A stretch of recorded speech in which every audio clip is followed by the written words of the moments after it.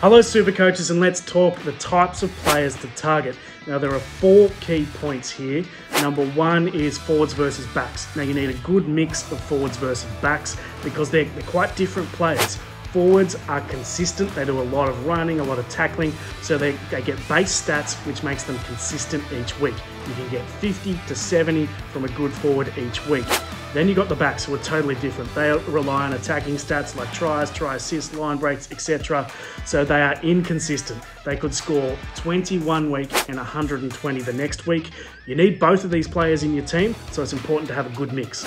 The second point here is cheapies. Now, these are the most important players in your team. You probably need 10 to 12 of them to start your season, and they're important because they make you money they're cheap for a number of reasons. They might be rookies, having never played before, or they might be veterans coming back in after a long time out with injury. Next up is guns or keepers. The, the term is interchangeable, but it's pretty self explanatory. These are the guys who score you the most points. You'll only have about an, enough money to buy about six of them at the start of the season. You don't need to overthink this too much. Pretty much the most expensive guys in a position are the guys who are going to score the most points because their prices are based on their stats from last year. And finally, mid-ranges. You'll need about six of these in your team.